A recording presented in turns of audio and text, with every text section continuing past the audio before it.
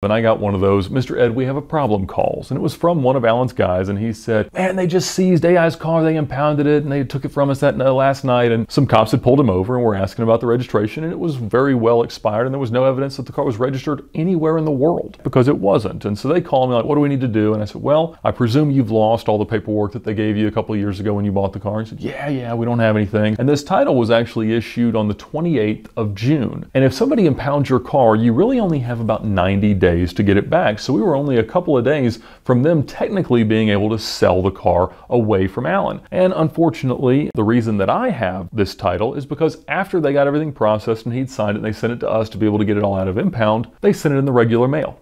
And of course, it got lost for several months. But in the meantime, we'd had to reduplicate everything, get another title, get it to Allen to sign, and then we were successful, fortunately, even though just a few days late, in liberating the car from its impounded state.